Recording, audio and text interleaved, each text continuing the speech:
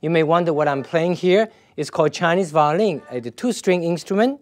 It's called erhu, E-R-H-U. It consists of a sound box covered with a snake skin, and the bow sits in between the two strings. It's the Chinese violin.